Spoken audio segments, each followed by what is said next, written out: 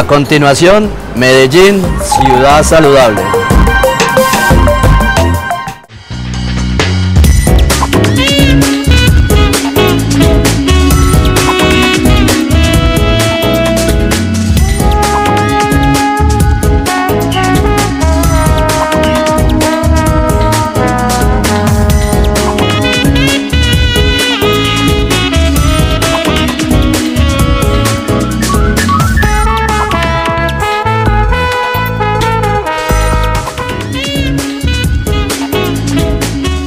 Bienvenidos a una nueva semana de actividades en Medellín Ciudad Saludable. Es un placer estar nuevamente con ustedes entre las 11 y las 12 del mediodía. Bueno, de una vez anunció una novedad para esta semana. El próximo miércoles, doctora Fanny Isabel muy buenos días, me alegra mucho verla esta semana. El próximo miércoles vamos a transmitir de 8 de la mañana a 4 de la tarde Diálogos Telemedellín con el tema central de la vida, transmisión en directo ininterrumpida durante todas esas horas. En consecuencia, no podremos estar ni a las 11 de la mañana ni a las 3. Nuestro programa será a las 5 de la tarde para que se agenden de una vez y luego no se embolaten qué pasó con la doctora y con Felipe, por qué se nos perdieron. No, miércoles 5 de la tarde. ¿Cómo está, doctora Fanny Isabel? ¿Cómo le fue este fin de semana? Muy bien, Felipe, muchas gracias. Y a todos ustedes, bienvenidos a esta semana que arranca, donde vamos a tener un tema que vamos a explorar y que vamos, yo sé que les va a gustar mucho, vamos a celebrar el Día Internacional de la Salud Mental, que es precisamente el 10 de octubre, cae viernes, pero nosotros tenemos una semana completa dedicada a esta parte tan importante de la salud y del bienestar, la salud mental. Y efectivamente hay que programarnos desde ya para que el miércoles entonces nos encontremos, es 8 de octubre a las 5 de la tarde, después de este programa tan especial que se llama Diálogos. Antes de meternos de lleno con la Semana de la Salud Mental en Medellín y ya les voy a explicar por qué. Si la conmemoración es el 10, es un solo día, ¿por qué Medellín asume esto como un reto de semana con muchas actividades? Ya eso es una tradición y tiene unos propósitos. Déjeme expresar, doctora Fanny Isabel, condolencias y el pesarcito, la tristeza que llevamos este fin de semana y esta nueva semana por dentro por el fallecimiento, por la muerte de uno de nuestros compañeros de trabajo, don Carlos Mario, o don Mario, como le decíamos realmente, compañero de Telemedellín, quien perdió la vida el pasado viernes, un hombre con mucha alegría, un hombre ya con sus años, tipo muy alegre, lo vieron y se volvió protagonista de la campaña de expectativa de Enterapia, programa que transmitimos con el tema del fútbol, que además fue como coyuntura con el Mundial, pues se nos fue don Mario. Qué pesar paz en su tumba y un abrazo para sus amigos, sus familiares y para todos nosotros, compañeros de trabajo. Exactamente, sí lo vamos a extrañar, una persona queridísima en el poco tiempo que llevo acá en Telemedellín, una de esas personas que le alegraba uno el día siempre y que desafortunadamente ya no está con nosotros. Bueno, hablemos de la Semana de la Salud Mental. Les decía la doctora Fanny Isabel, 10 de octubre es el Día Mundial de la Salud Mental. Es una campaña internacional que, si recogemos un poco los objetivos, lo que intenta es fijar la atención en la identificación, tratamiento y prevención de los trastornos emocionales, de las enfermedades mentales. Por supuesto, la alcaldía de Medellín, y ahí está liderando, obviamente la Secretaría de Salud, se suma a la conmemoración internacional, pero no quiere dedicarlo, y así lo ha hecho durante los últimos años, con un solo día, solo el 10, sino que aproveche esa coyuntura para darle una mirada con una cantidad de actividades a cómo estamos en materia de salud mental. Sabe que este año el propósito de la conmemoración, doctora Fanny Isabel, siento yo es, es, es, es muy halagador, es muy conveniente, porque más que mirar la enfermedad, cómo atenderla, qué debemos hacer, lo que busca mirar el tema de la salud mental es desde lo positivo, es decir, cómo prevenirla, cómo mejorar los niveles de cuidado, de autocuidado y cuál es el compromiso personal, social, gubernamental, comunitario, familiar con la salud mental. Exacto, un enfoque diferente, un enfoque que yo sé que nos va a servir mucho durante esta semana, que vamos a tratar diferentes temas. Y es que la Organización Mundial de la Salud se preocupa porque finalmente los problemas de salud mental se van a convertir, si seguimos estas estadísticas actuales, para el 2020 en la segunda causa de enfermedad, después de la enfermedad isquémica, después del infarto, que es la primera causa de, muerte en la mayoría de, las personas en el mundo. Entonces hay que prestar y reflexionar sobre este tema. Somos muy dados a, a, consultar por cualquier dolor físico, por cualquier enfermedad, pero se nos olvida que la mente también se enferma y que no hay salud total ni hay un bienestar total si no hay una buena salud mental. Entonces es el espacio para recordar que, que los valores, que la familia, que la tolerancia, que el respeto por el otro son parte fundamental de ese bienestar, de ese equilibrio que tenemos eh, con nosotros mismos, con nuestro entorno. Entonces hoy vamos a abrir esta semana, todos están invitados, sabemos que estos temas son de preferencia en Medellín Ciudad Saludable y sabemos que para ustedes también es muy importante colaborarnos, contarnos sus experiencias, hacer las preguntas. Hoy tenemos tres invitados muy especiales y también que podamos ayudar a todas las personas que tienen necesidades en este aspecto. Que son muchas, que somos muchos, casi todos las tenemos. Mire, solo en una de estas condiciones mentales o enfermedades mentales, la depresión, la Organización Mundial de la Salud calcula que hoy en el mundo hay 350 millones de personas con depresión. Hoy en el mundo casi se acerca al 5% de la población. Tiene un pero, es que ese desconocimiento, ese marcador cultural y a veces social impide reconocer que tenemos una condición mental y en consecuencia no buscamos ayuda. Y ahí como humanidad, como raza humana, estamos cometiendo un gran error, porque como lo físico es importante, lo mental es fundamental para la calidad de vida, para mejorar la condición de vida. Es el tema de hoy. Hoy hacemos un abordaje general a las implicaciones de esta semana de la salud mental en Medellín. Vamos a mirarlo con varios invitados y les proponemos a ustedes que nos acompañen de varias maneras, marcando las líneas 441-2100 y también la línea nacional gratuita 018000 414099.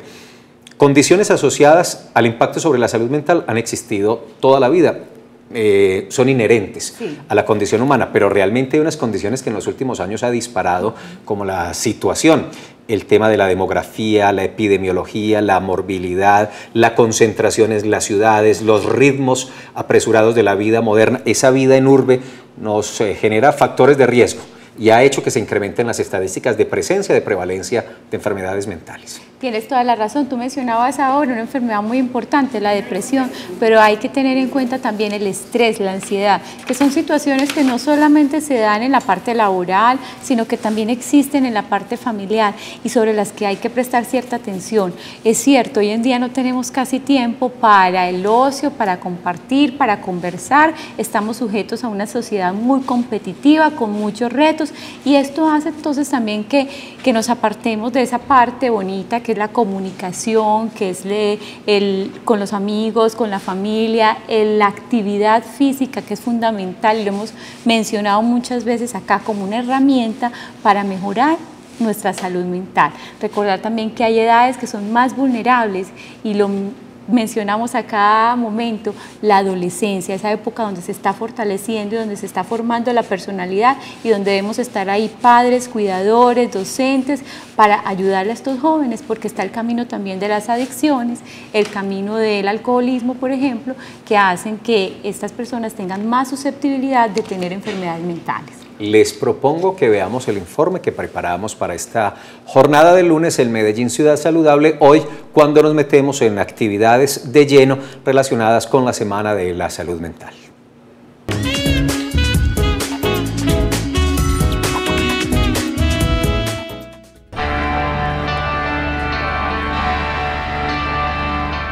La salud mental se relaciona directamente con el manejo de las emociones, los conflictos, temores y capacidades. Se refiere además al comportamiento frente a diferentes situaciones que se presentan en la cotidianidad, donde se evidencian las capacidades y la toma de decisiones de cada persona en momentos cruciales.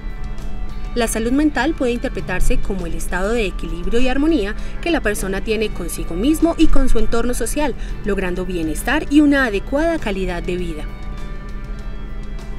Reconociendo entonces la importancia de este factor en cada uno de los integrantes de la sociedad, la Secretaría de Salud implementó una semana especial para aprender y reconocer la importancia de la salud mental. Se trata de un evento que reúne diferentes actividades por medio de las cuales se pretende dar una visión integral y de interés común para los habitantes de Medellín. Durante el transcurso de esta semana contaremos con el apoyo de profesionales e instituciones especializadas en el tema, quienes además de las actividades programadas nos permitirán tener una visión experiencial para aclarar dudas sobre el tema y visualizar los avances exitosos que se vienen dando desde hace algunos años en esta rama de la salud. El trabajo se enfocará en tres líneas de acción, actividades académicas, estrategias de información, educación y comunicación y acciones experienciales.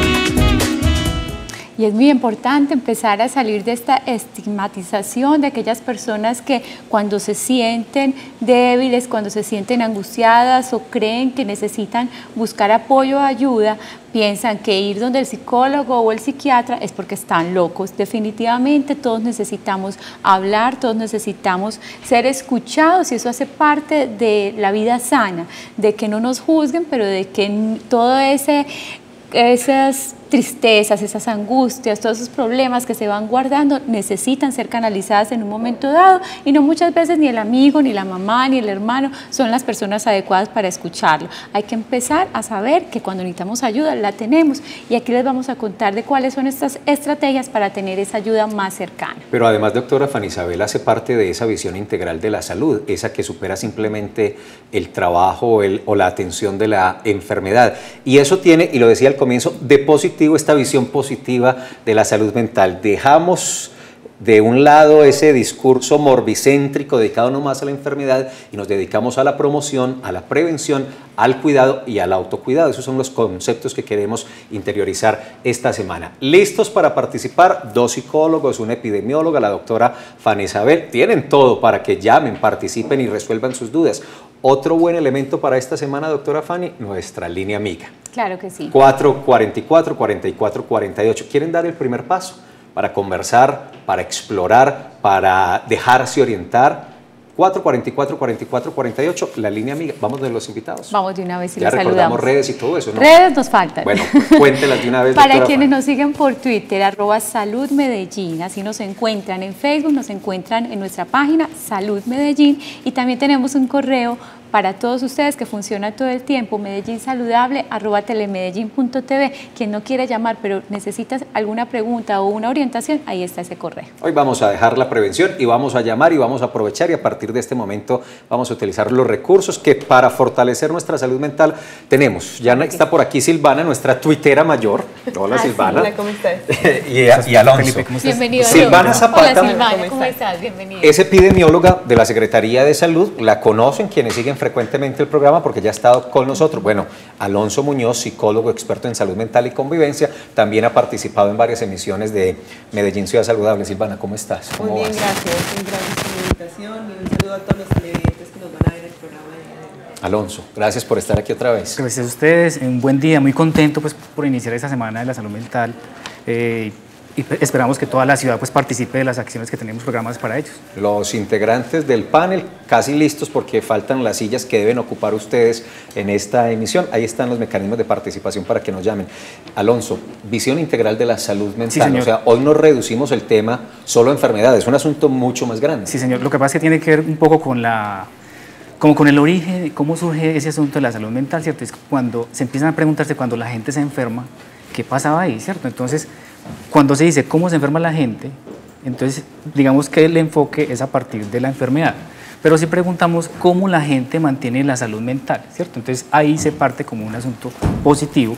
Ahorita en la mañana que, estábamos en el foro, pues que es el, el, el abrebocas de la semana, eh, alguien decía, mire, es que cuando hablamos de salud mental, pues es contradictorio como hablar de enfermedad, porque la cuando hablas de salud mental, ahí digamos está lo positivo, pero es lo que yo les contaba ahorita, es como el origen de, de- de cómo se inician los estudios en salud mental, es a partir de la enfermedad, a partir del trastorno, pero se descuidó también como ese otro lado, es cómo la gente cuida su salud mental, que todo medellinense si le pregunta cómo cuidas tu salud mental, que más adelante vamos a ver, todo el mundo dice, digamos, eh, tiene una- unas prácticas de cuidado de la salud mental, ¿cierto? Y a partir de ahí que se empieza como a pensar la salud mental positiva para darle como esa fuerza y, y, eh, y el enfoque como desde, también desde, desde, las personas, ¿cierto? Porque cuando uno piensa en salud mental, también piensa, tiene que ser un experto, ¿cierto? Si uno le pregunta a la gente, ah, tiene que, psiquiatra, como ustedes decían ahorita, estás loco, vas al psicólogo, vas al psiquiatra, es estigma. vas al médico, ¿cierto? Entonces ahí están los especialistas, ¿cierto? Pero la salud mental, desde la integralidad, eh, yo, pues de, la mamá, desde pequeñitos, eh, está cuidando, digamos, la salud mental uh -huh, también. Uh -huh. en la escuela también el profesor puede cuidar la salud mental, el mismo estudiante puede cuidar la salud mental. Y esa es la conciencia que debemos asumir. Muy interesante el tema, el contenido. Faltan ustedes. Vamos a hacer una pausa institucional corta y regresamos con Silvana y con Alonso para seguir desarrollando este tema. Aquí en Medellín Ciudad Saludable. En segundo volvemos.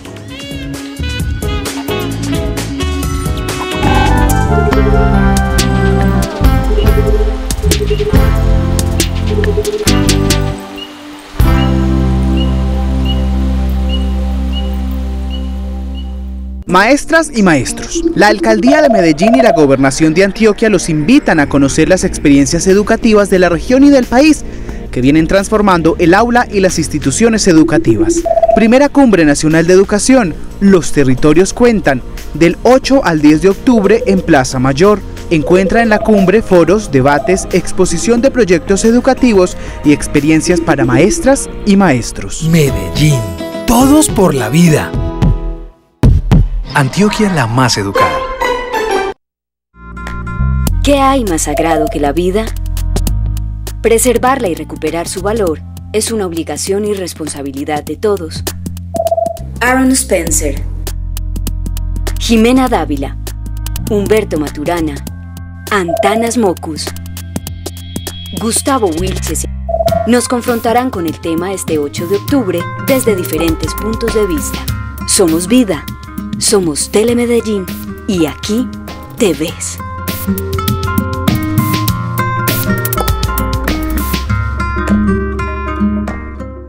Siempre nos han dicho que los trapitos sucios se lavan en casa, de puertas para adentro. Sin embargo, en muchos casos se hace necesario ventilarlos un poquito afuera. Vivimos una crisis del amor y a la familia se le echa la culpa. No es justo, porque la familia no es culpable, mas sí recae sobre ella una gran responsabilidad. La familia puede ponernos en caminos oscuros y a la vez la que puede devolvernos la luz. Hay que sacarla de la soledad en que está. La familia requiere apoyo para que pueda darnos esa luz. De puertas para adentro. Programa de Telemedellín y la Secretaría de Inclusión Social y Familia. Sábados, tres y media de la tarde. Aquí te ves. Hola, yo soy Carlos Mario Montoya. Durante estos últimos dos años y medio he tenido la responsabilidad de coordinar muchas de las obras, de los hechos por la vida que se han desarrollado en el territorio Valle de Aburrá. Durante estas nueve semanas, en nueve programas, los invito a que hagamos un recorrido por los nueve municipios del Valle de Aburrá y conozcan muchas de las acciones que desde el área metropolitana se vienen desarrollando, muchas de las obras que hemos venido trabajando para mejorar la calidad de vida de cada uno de los ciudadanos de este territorio. tac, tac, tac, tac, tac, tac, ve con el sillón.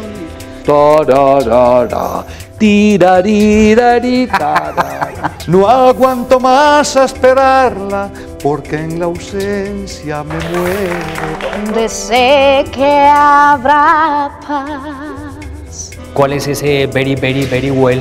Es la primera canción de rock and roll hecha por colombianos. No me sale la parranda, pailachino de esta tanda, vengo dándole zaranda. Sí. Tan, tan, trrr, tan, tan, trrr.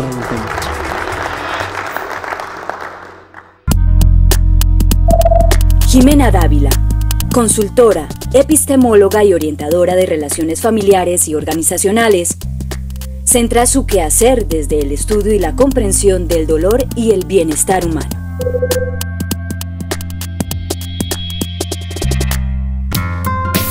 Somos vida, somos Telemedellín y aquí te ves. Maestras y maestros, la Alcaldía de Medellín y la Gobernación de Antioquia los invitan a conocer las experiencias educativas de la región y del país que vienen transformando el aula y las instituciones educativas. Primera Cumbre Nacional de Educación, Los Territorios Cuentan, del 8 al 10 de octubre en Plaza Mayor. Encuentra en la cumbre foros, debates, exposición de proyectos educativos y experiencias para maestras y maestros. Medellín. Todos por la vida. Antioquia la más educada.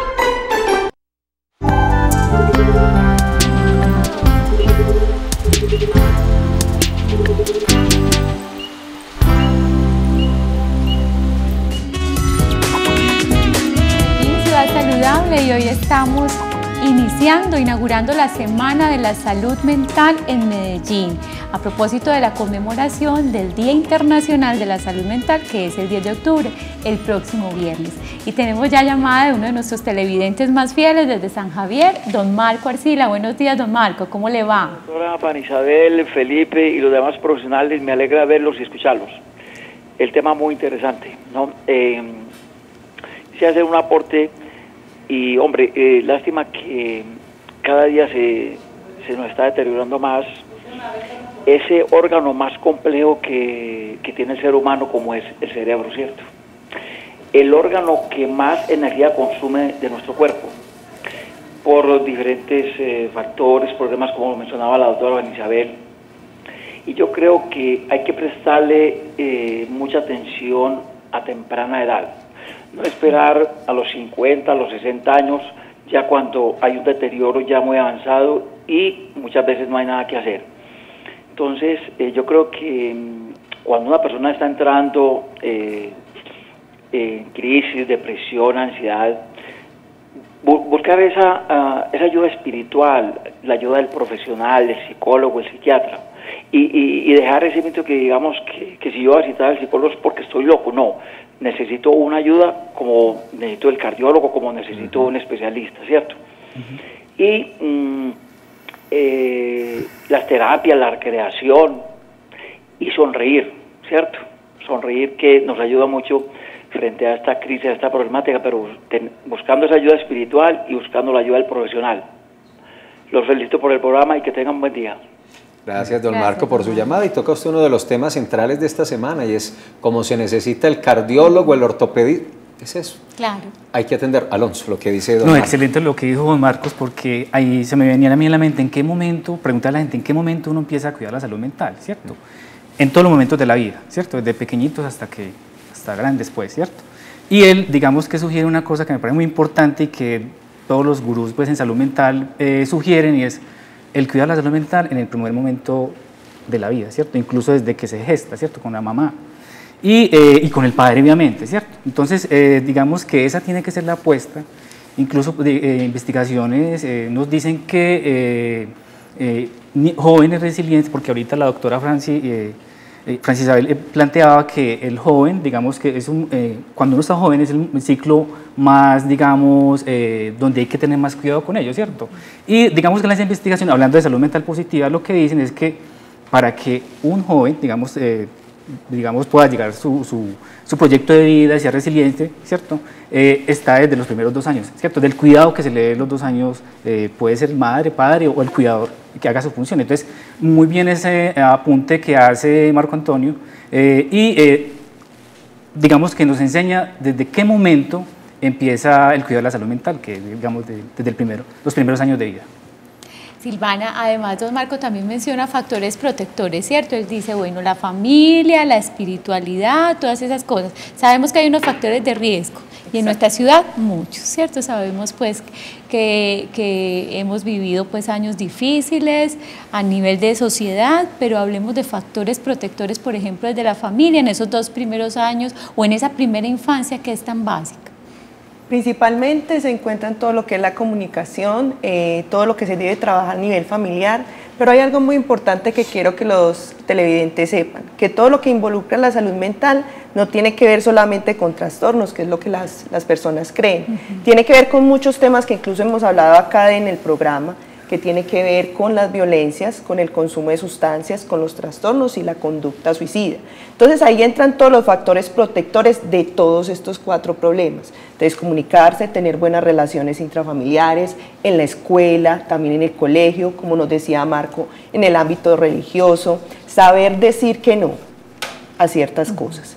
sea, aprender a tener esas habilidades para la vida es uno de los factores protectores más grandes en términos de salud mental y desde la epidemiología, todo lo que son las habilidades para la vida propias desde el principio. O sea, desde el hogar, desde la escuela, así como hemos hablado en otros programas, desde todos los entornos, desde el entorno escolar, el entorno familiar, el entorno institucional, incluso cuando yo voy a la institución de salud, que ya tengo el problema, ellos me deben a mí fomentar desde la institucionalidad factores protectores, es hablé con tu familia, debes de venir constantemente a las revisiones, entonces son muchos factores de riesgo que no podríamos puntualizar, porque lo bueno de la salud mental es que tiene que ver con el bienestar, ¿cierto? Entonces involucra todo lo que los televidentes se puedan imaginar en factores protectores. Todo lo que tenga buenas relaciones personales, todo lo que tenga que ver con habilidades para la vida y comunicación, tienen que ver con factores protectores en salud mental. Y eso es lo que quiere la alcaldía y la Secretaría de Salud fomentar todo esto y no cogerlo desde lo morbicéntrico, que es lo que siempre lo ha mirado. Incluso si ustedes miran el lema mundial del viernes, es viviendo con esquizofrenia. Nosotros le dimos un vuelco, le dimos, no, nosotros no queremos hablar más de lo mórbido, sino que queremos ponerles actitud positiva, que es lo que queremos fomentar en los medellinenses. Silvana, antes de ver un video que hizo la Secretaría de Salud para promover la salud mental, son muchas las actividades que se tienen previstas para esta semana. Nos estaban hablando de un foro que se está desarrollando en este momento. ¿Cuáles son básicamente cómo se estructura esa programación y en dónde se puede consultar? Bueno, el Comité de Salud Mental, que es un montón de organizaciones de la Administración Municipal, que aprovecho acá para darles eh, las gracias a todos por todos los aportes. En, esta Semana de la Salud Mental tenemos actividades académicas, actividades culturales, tenemos actividades lúdicas con los programas, eh, tenemos actividades en las comunas, en las instituciones educativas y a pesar de que es la semana de receso, tenemos varias instituciones educativas que van a trabajar en pro de la salud mental, en, en la Lorenza Villegas de Santos, en el INEN José Félix de Restrepo, tenemos también en los parques biblioteca y principalmente invitamos a todos los medellineses a que visiten el viernes de 9 de la mañana a 5 de la tarde la Feria de la Salud Mental, que es en la plazoleta central de la Alpujarra. Es un evento muy bello, es un evento grande donde están todas las secretarías eh, que apoyan y aportan en la salud mental. Ahí tenemos el INDER, tenemos a Inclusión Social, tenemos a mujeres, tenemos a gobierno, tenemos a seguridad, tenemos a corporaciones, a otras corporaciones que apoyan, a universidades, Surgí, la Universidad de Antioquia, muchos, y es muy importante que estén ese día. El año pasado emitimos desde allá, ¿cierto? Hace un año. Lo recuerdo perfectamente, con unas actividades bastante interesantes y una programación muy buena que no se pueden perder. Efectivamente, Felipe les contó, hay un video que tenemos preparado donde vamos a reforzar el concepto de salud mental gracias a Laura Naranjo y además una pregunta para los ciudadanos, ¿qué significa para ellos la salud mental? Vamos a ver.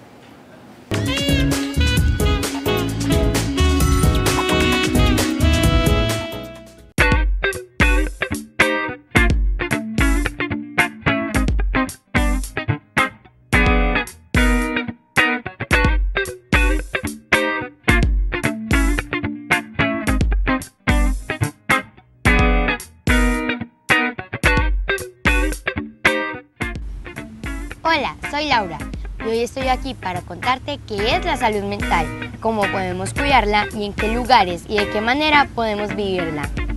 ¿Tú sabes qué es la salud mental?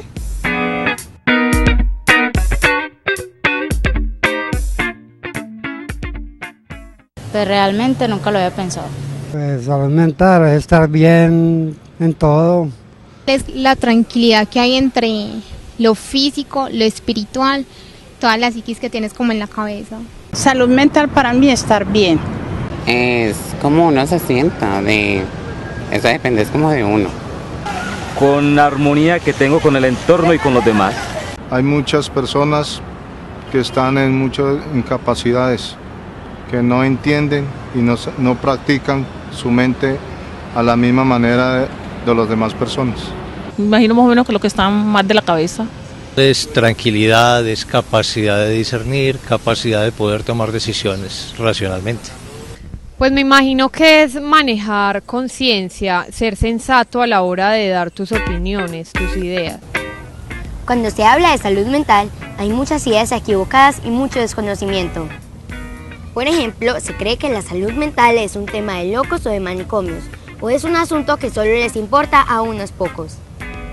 Sin embargo, la salud mental es un tema que nos corresponde cuidar y cultivar a todos todos los días, sin importar la raza, la edad, la posición económica o los estudios. Esa es Laura Naranjo quien conduce el video que hizo la Secretaría de Salud para exponer asuntos muy interesantes del concepto y de todos los elementos que integra la salud mental. Vale la pena analizar aprovechando esa consulta, ese voz pop, la consulta que hicieron con los ciudadanos del común, qué tan ubicados Silvana o Alonso estamos normalmente con el concepto de salud mental. ¿Estamos bien ubicados o no? Hay algo muy interesante, Felipe, y compañeros y comunidades que eh, todas, digamos que eh, de acuerdo a la cultura se construye un concepto de salud mental, ¿cierto? Y también de acuerdo a cómo los medios, a cómo nos han educado en la escuela, hay, digamos, aporta esa construcción, ¿cierto? Uno que puede ver ahí, que hay cierta relación eh, con salud mental y que tiene que ver con la ausencia de enfermedad de salud mental, ¿cierto? O con la ausencia de, de que no consumas alcohol, no consumas, ¿cierto? Un, un, poco lo que le dice a uno la mamá cuando lo está educando, ¿cierto? Eh, si quieres ser un niño bueno, no, digamos que no, ¿cierto? No fumes, ese, todo ese no, ¿cierto?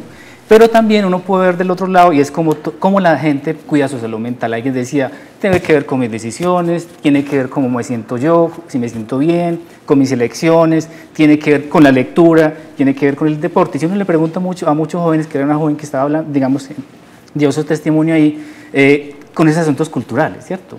Con, eh, con el proyecto de vida, mejor dicho, digamos que lo grande tiene que ver con el proyecto de vida. Y que muy bien lo decía ahí, digamos, la comunidad, pero uno ve eh, como de todo un poco, ¿cierto?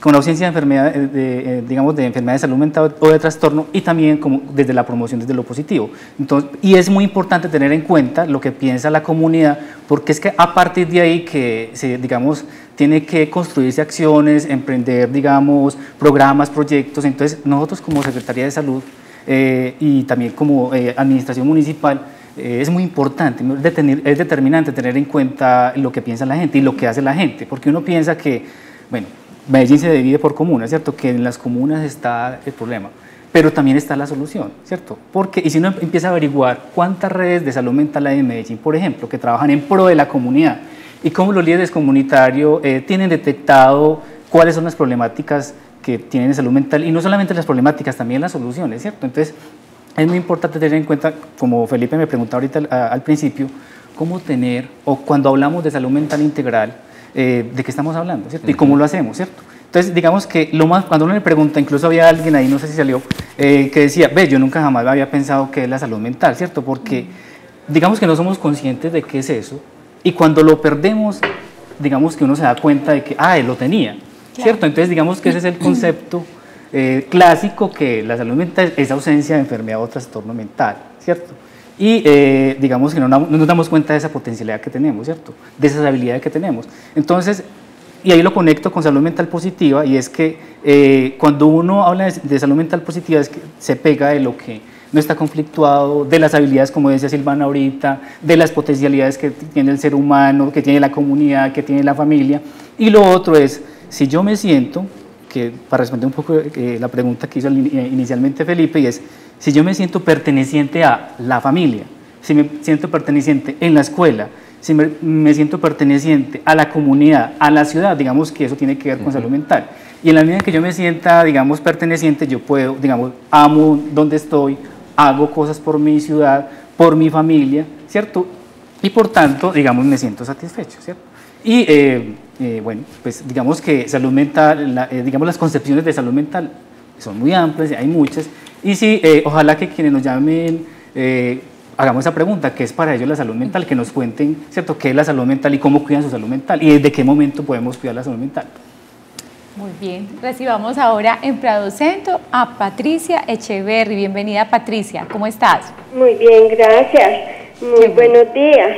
Los felicito por su programa me interesó mucho la salud mental, eh, porque para mí la salud mental es el entorno que me rodea. Cuando a mí me afectan o a un miembro de mi familia lo atropellan, están vulnerando mi salud mental, la mía y la de mi familia. Eh, por lo tanto, también quiero hacerle una pregunta al psicólogo.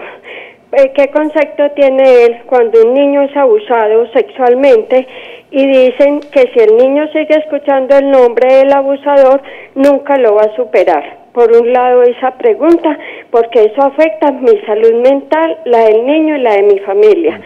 Y por lo otro, cuando el niño sabe y está diciendo la verdad y ante un tribunal dicen que el niño está mintiendo, otro psicólogo donde hace pasar al niño como demente que porque él ve pornografía es un niño de 3 a 5 años. Quiero su aclaración.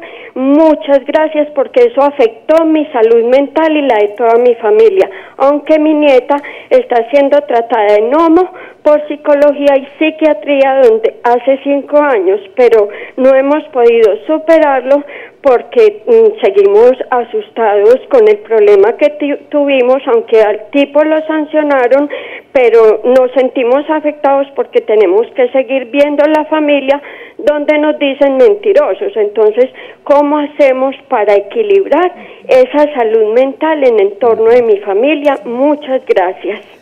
Muy bien, muchas gracias a doña Patricia. Es un caso, digamos, que, bueno, lamentable, eh, nos duele mucho. Eh, en Medellín, pues por fortuna tenemos programas que podrían, acompañar, podrían acompañarla a doña Patricia.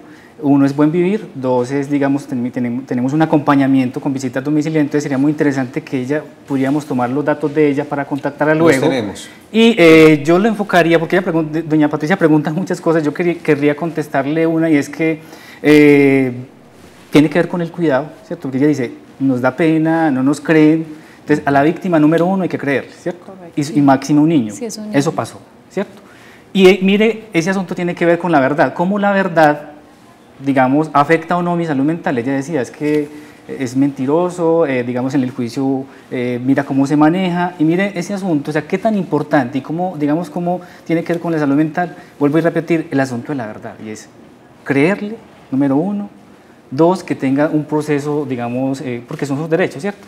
Pero entonces yo le, yo le sugiero a doña Patricia, para no, digamos, quedarnos en, este tema, es que eh, no sé cómo, o que nos contacte o que nos escriba al correo, a un correo electrónico que yo le podría dejar, eh, o llamar a la línea mía, a la línea mía 444-4448 y ahí muy amablemente el personal que esté allí la orienta pues como para que su familia sea acompañada, ¿cierto? Porque es su derecho y afortunadamente en Medellín tenemos este Igual les pedimos el favor por, por, la exposición que nos acaba de hacer la televidente, que ustedes también se lleven el datico y, logremos orientar a esta familia, pero la respuesta y la información y el acompañamiento que le pueden brindar en la línea amiga es fundamental para atender esta, esta condición, pero les vamos a dar los datos, ¿vale? por supuesto. Sí, importantísimo. Yo la recuerdo siempre, 444 44 48 doña, doña Patricia, y para todos los demás televidentes que tienen alguna problemática relacionada con salud mental, es una herramienta maravillosa a la que podemos acudir fácilmente, coger el teléfono, llamar, y ahí nos responden profesionales que lo pueden orientar. Silvana, ¿por qué tan unido entonces este año el tema de la salud mental al proyecto de vida? ¿Por qué es tan importante? Todos los programas de que nosotros tenemos en Secretaría de Salud y que evocan la administración, que van en pro y en el Comité de Salud Mental, le estamos apuntando eso, a los programas en pro del proyecto de vida.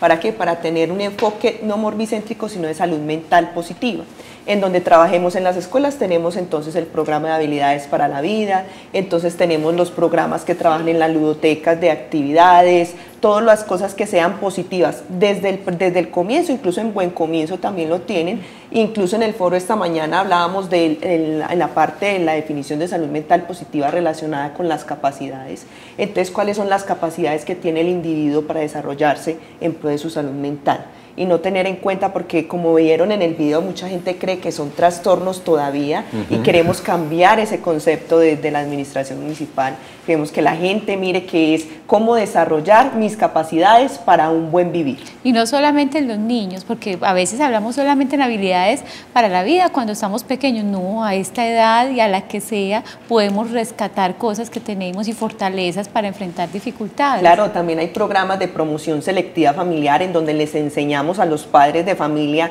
cómo vivir esos momentos complejos con los adolescentes, por ejemplo, y también con los adultos mayores, cuál es la capacidad de entender claro. al adulto mayor cuando está pasando por, un, por unas consecuencias eh, de su edad, por ejemplo, como es la demencia senil, por ejemplo. Entonces, ¿cómo ayudamos para vivir con ellos? Que ese estado de ellos no afecte la salud mental del resto de la familia. Como mi- y por ejemplo, yo lo digo porque tengo una abuela con demencia senil y es muy complejo.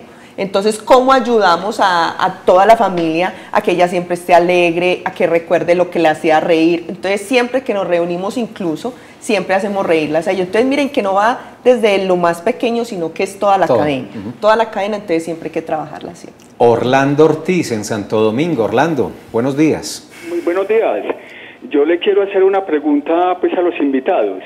Si por favor me explican eh, la diferencia entre re- resiliencia y resocialización y a qué edad una persona eh, se le puede hacer ese trabajo. Y la segunda, si de pronto hay algunas investigaciones o trabajos sobre eh, cuál es la relación entre la pobreza y la salud mental, porque vemos que en, en su gran mayoría las cárceles están pues taqueadas, taqueadas de personas eh, pobres.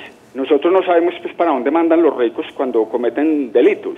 Entonces, por favor esa pregunta y muchas gracias. Gracias, don Orlando. No, no. Déjeme simplemente antes de la respuesta de Alonso decir que el tema de la resiliencia es el tema de Mañana. es el epicentro del programa mañana Sí. para que no se lo pierda. Bien, don Orlando hace tres preguntas muy complejas. Eh, una es diferencia entre resiliencia y resocialización. Dos, como la, la relación, esa es la, ter- la tercera, entre pobreza y salud mental. Y la otra, bueno, la otra. Te- mm, rápidamente, a don Orlando lo invito mañana para que se oye el programa. Ahí tenemos, eh, tendremos dos expertos locales, más otros dos expertos internacionales. Eh, pero rápidamente le puedo decir que eh, resiliencia, lo que hablamos ahorita, es como es la capacidad, digamos, de, de pues, tiene varias definiciones, pero es la capacidad como de reponerse ante condiciones adversas, ¿cierto? Y eh, digamos que la entonces uno puede decir que una persona que vive en condición de pobreza puede, digamos, salir salir, eh, digamos, llevar su proyecto de vida, siento que es muy duro, digamos, llevar su proyecto de vida, eh, hacer, digamos, eh, eh, re- eh, realizar sus sueños, ¿cierto? La resocialización tiene que ver con algo que, digamos, entre comillas, falló en la socialización primaria, ¿cierto? Entonces, por tanto, tiene que, eh, de vía educación secundaria, para que ese niño joven, digamos, vuel- digamos que vuelva a, eh, a llevar su vida tranquila, ¿cierto? Y no, te- no- tenga que terminar, como él decía ahorita, pues en la cárcel, ¿cierto? Entonces hay una diferencia bien importante. eh, en la resocialización puede haber resiliencia, ¿cierto? Puede valerse como esas habilidades que tiene la persona para reponerse. Y eh, lo otro que él decía, por la mañana en el foro, alguien decía, mire, eh, pobreza no es igual a tener mala salud mental, ¿cierto? Entonces yo puedo decirle que si la mayoría de gente, y bueno, también eh, habría que mirar las estadísticas, si la mayoría de gente que está en este momento privada de la libertad es pobre, digamos que tiene que ver más bien como con falta, con falta de oportunidades, ¿cierto? Si, este- si ese joven, si esa persona pudo, digamos, eh, eh, desarrollar su proyecto de vida, que quería hacer, ¿cierto? Si quería estudiar, trabajar, y si la sociedad le está ofreciendo eso, ¿cierto?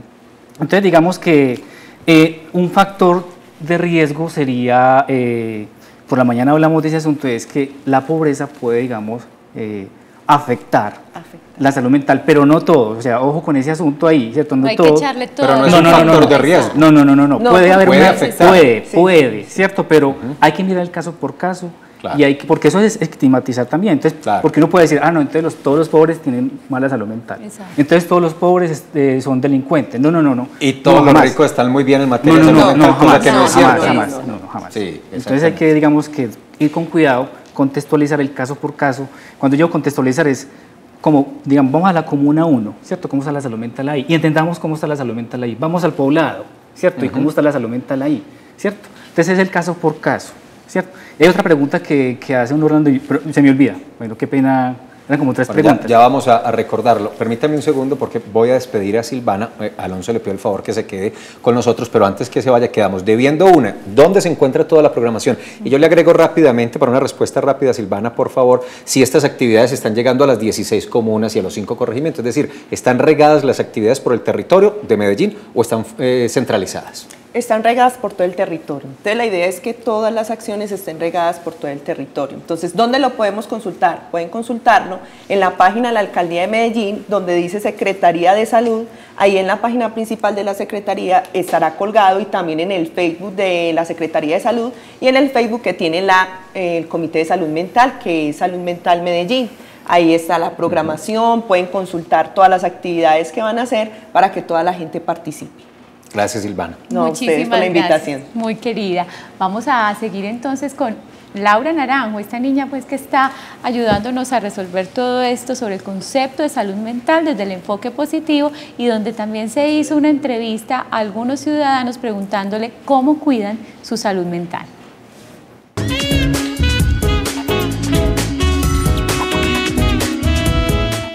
La salud mental es la capacidad de las personas y de los grupos para interactuar entre sí y con el medio ambiente.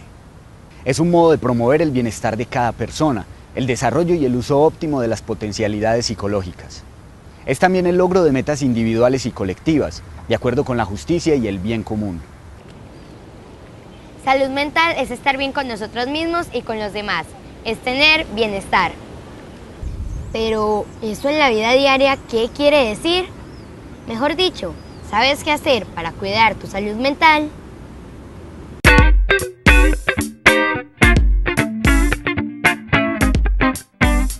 Eh, la salud mental creo que la se cuida eh, estudiando, leyendo, ser atento a todo lo que sucede a nuestro alrededor para poder entonces responder con efectividad ante los demás. No fumar, no ser drogado, no tomar, sino mi alimentación nada más, para tener buena vida. Para mí, concepto, la salud mental es cuidar no consumiendo drogas. Sí, estando bien, sintiéndome bien. La manera de cuidar la salud mental es siempre buscando el bienestar, que para mí es el principio fundamental de ser tranquilo y eso es principal y primordial para tener una adecuada salud mental. Para mí hay tres principios básicos también para esa salud mental. Respeto por el otro, solidaridad y el reconocimiento por el otro. Trabajamos con la medicina tradicional. Pues no manejar mucho estrés, de ir de pronto a terapias o a alguien que lo asesore en cuanto a ese tema. Haciendo ejercicios eh, tanto psicológicos como físicos, dándome espacios con mi familia. Yo pienso que hay muchas formas de cuidarla, por medio del deporte, por medio de la danza, del arte, de hacer lo que uno más le gusta y dejar como ese estrés laboral que lo lleva uno aquí al estar en la ciudad. Yo cuido mi salud mental a partir del amor propio, el amor a mí mismo, cuando me integro desde la parte espiritual, mental, emocional y física. Para que sepas cómo cuidar tu salud mental, te invito a que veas la siguiente nota. Presta mucha atención. Para cuidar tu salud mental hay que disfrutar la vida. Hay que transformar los conflictos. Tomar decisiones. Y buscar salidas en momentos difíciles. Para cuidar tu salud mental, siéntete bien contigo mismo y con lo que tienes y mantén relaciones saludables con quienes te rodean.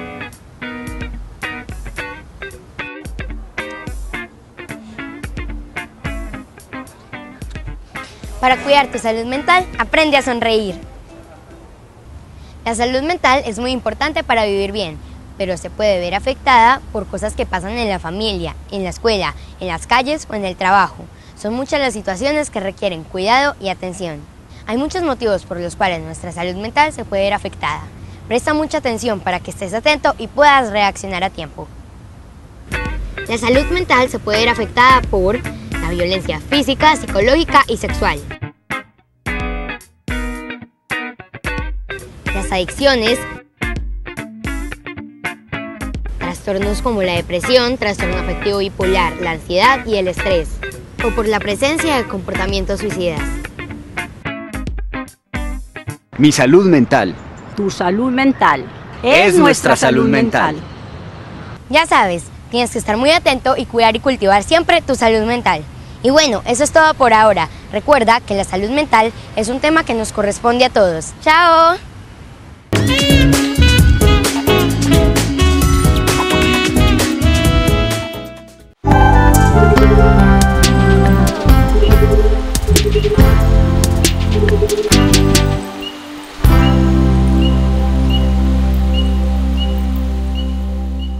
Maestras y maestros, la Alcaldía de Medellín y la Gobernación de Antioquia los invitan a conocer las experiencias educativas de la región y del país que vienen transformando el aula y las instituciones educativas. Primera Cumbre Nacional de Educación, Los Territorios Cuentan, del 8 al 10 de octubre en Plaza Mayor. Encuentra en la cumbre foros, debates, exposición de proyectos educativos y experiencias para maestras y maestros. Medellín, todos por la vida. Antioquia la más educada. A de frente llega una revisión de lo que llevamos y de lo que nos falta del POT. Con los foros académicos, gremiales y con los medios de comunicación, el POT entra en la fase final de su discusión. ¿Cómo será la audiencia pública de respuesta al Cabildo Abierto y los pactos de ciudad con el nuevo POT? Lunes 6 de octubre, 8 de la noche por Telemedellín, desde una ciudad que construye y debate su POT. Bye.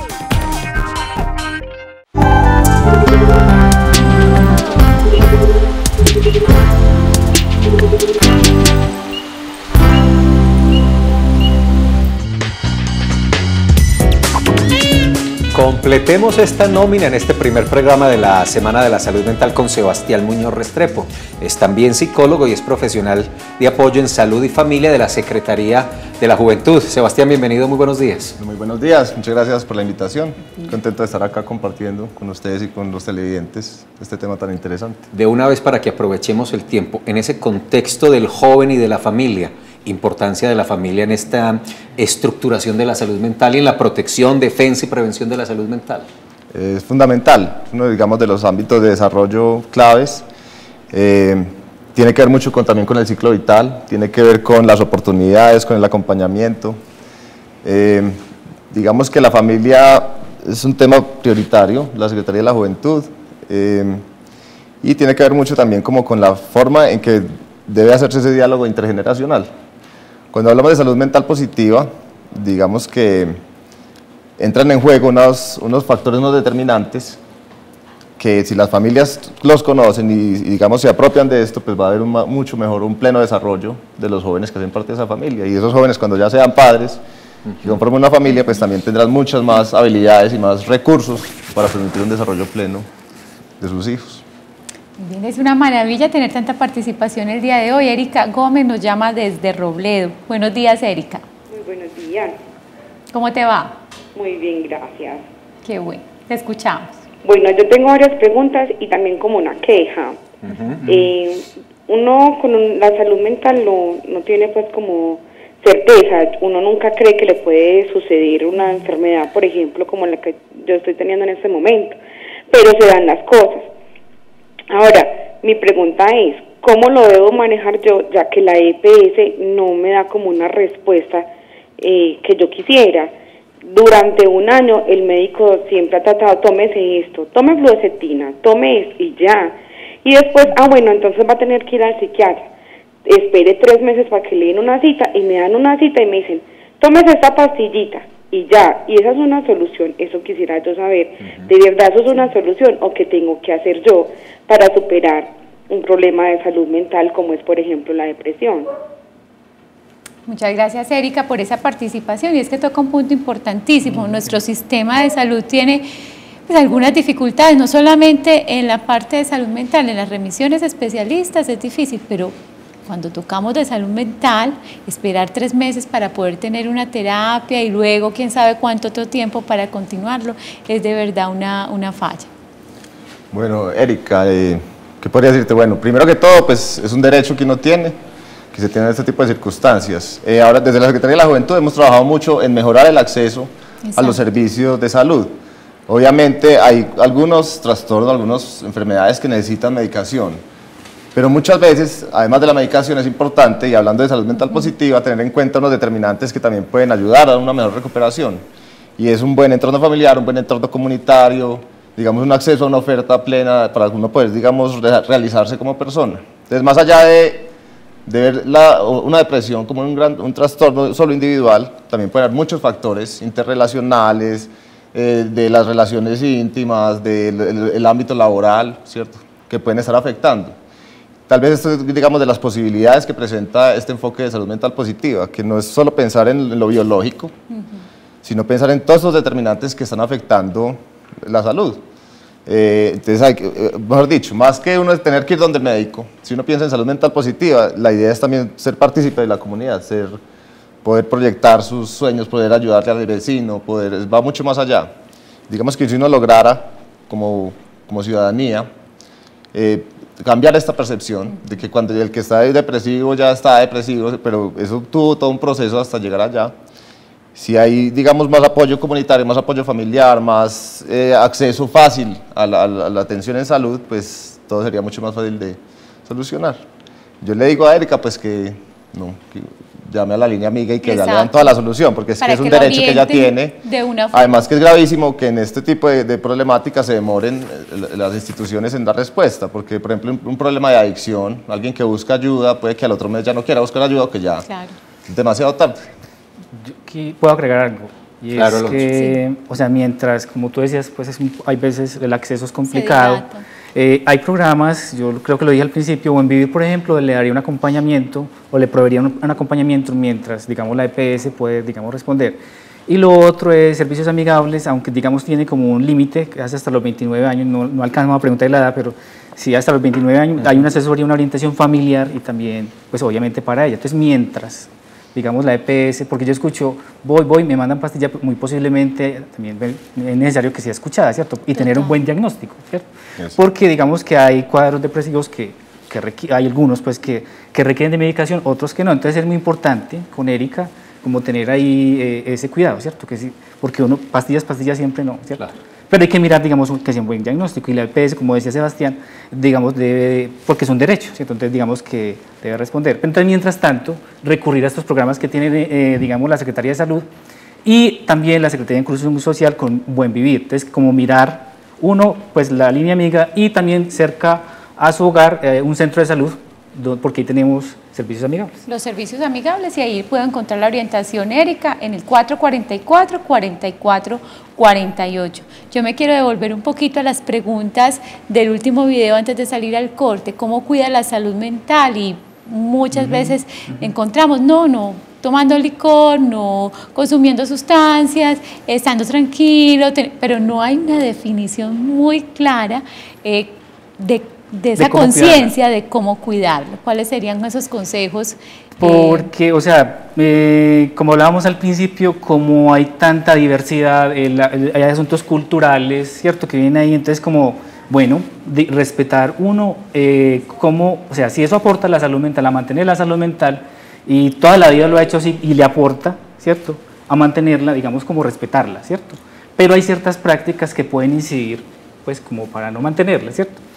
Entonces, eh, uno que puede hacer y respetar mucho, digamos, las prácticas que tienen ciertas familias, las prácticas que tienen ciertas comunidades y, digamos, empezar como a negociar eh, este asunto, ¿cierto? Porque uno puede, tiene unas prácticas, pero uno lleva otras, ¿cierto? Entonces ahí hay como un complemento ahí eh, entre prácticas que lleva, puede llevar el facilitador, el profesional o el profesor, más la que tiene la comunidad, ¿cierto? Pero entonces, eh, como hablamos al principio, es integralidad, en esa integralidad hay diversas prácticas, formas de hacer y de cuidar la salud mental, entonces bienvenido lo diverso, ¿cierto? Digamos que no, no habría como, es esto solamente, no, hay, hay muchas formas. Y eh, por eso este año eh, preferimos, digamos, apostarle a esa diversidad, ¿cierto? Eh, mire, se nos ac- acabó el tiempo, se nos agotó ya, pero y vamos a tener que sentarnos nuevamente con Sebastián en algún momento, pero no quiero despacharlo sin aprovechar esto. Usted que está en la Secretaría de Juventud, el tema del consumo de sustancias psicoactivas o las adicciones, ¿cómo están afectando nuestra salud mental, especialmente la salud mental de nuestros adolescentes y nuestros jóvenes? Muy rápido, eh, Sebastián, por favor, qué Voy a pena. ser rápido, bueno. Pues es muy conocido que durante la adolescencia y la juventud pues hay digamos más vulnerabilidad a caer en estas problemáticas. Yo quisiera cambiar un poco el giro porque yo quiero hacer mucho énfasis en la salud mental positiva. Cuando veíamos las respuestas de las personas decían no consumir drogas, Sí. no hacer, no, eh, El yo digo no, también, la salud mental positiva implica algo más que el no, y es un sí, es si voy a hacer deporte, si voy a estar interesado por algo, si voy a estar colaborando con, con mi comunidad. Es más un cambio en la forma de entender la salud mental y, y la salud como tal. Eh, Yahoda, que es tal vez la- una de las teóricas que más aporta a la salud mental positiva, habla que la salud física no es suficiente para asegurar una buena salud mental. Entonces, como se dice un señor, nutrirme bien, pues nutrirme bien no basta, tiene que ser eh, trabajar las relaciones personales, trabajarle a, digamos, a lo, espiritual también, a lo trascendente. Eh, son muchos factores. Eh, yo diría que los jóvenes... Y en las, sí, de seis dimensiones. Yo, yo quisiera hacer algún énfasis y es, nosotros queremos ver a los jóvenes desde esas positividades, de esas potencialidades. Si uno ve los porcentajes y las estadísticas, son mucho más los jóvenes que hay ahora en Medellín que no están consumiendo sustancias, que están teniendo hábitos saludables, que están cuidando el medio ambiente. Vinculado con Mucho más, artísticas, exacto, con cosas culturales, con proyectos comunitarios, de autogestión, de transformación cultural. Entonces, hacer el énfasis en eso y eso va a generar mayor salud mental a nivel de ciudad.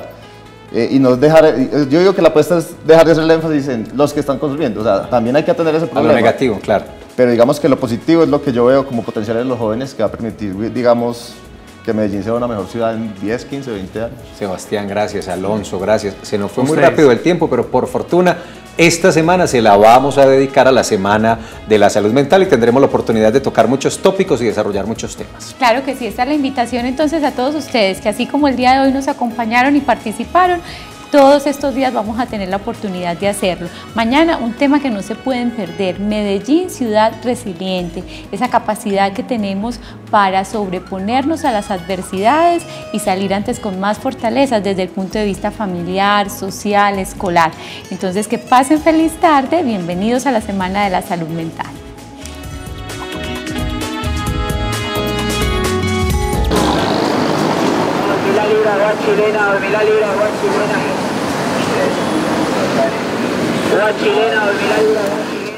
Telemedellín HD.